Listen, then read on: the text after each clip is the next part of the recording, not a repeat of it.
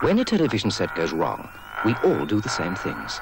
We fiddle with it, even hit it, usually making things worse. Grundig employ people to do all the hitting and fiddling before you get your set, carrying out over 150 tests. So you do what you should with a color TV. Sit back and enjoy it. Grundig, probably the best name on a color television.